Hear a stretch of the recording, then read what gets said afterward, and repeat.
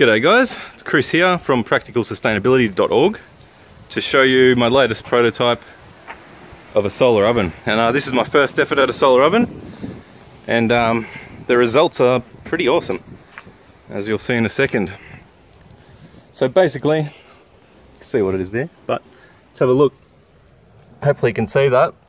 I've got a little temperature sensor in there which has done a full 360 so it's at least about 130 degrees Celsius uh, I'm not sure what that is in Fahrenheit or freedom units, but uh, I'll post that up later on.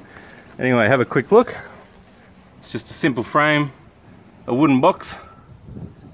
We've got strings here that you can unclip and reclip just because it's part of the lid and to get to your food you have to be able to take it on and off easily. Uh, anyway, inside it's only insulated with one layer of cardboard around the sides of the box in there covered in aluminium foil. And uh, underneath there you can see I've placed a whole lot of scrap steel rebar from a construction job I worked last year.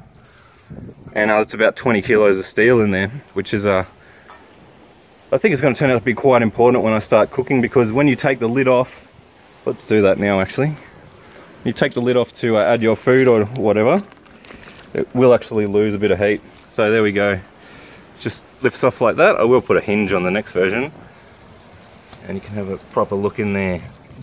I don't think the phone's coping very well with how bright it can be. But um, there we go. See temperature, air temperature's dropping a bit there. But um, unless you're going to put in 20 kilos of food, I don't think that removing the lid is going to really affect the heat that much. Uh, anyway, I will post the full details in the tutorial and uh, pretty soon I will uh, try cooking on it and get back to you with some proper results. Uh, anyway, well, this is the most important part that I have to improve is how to take this part on and off easily. But at the moment it's just a string, a clip, and it's attached to a little screw. And if you need to tighten it, you can just push the string around the screw, one more loop.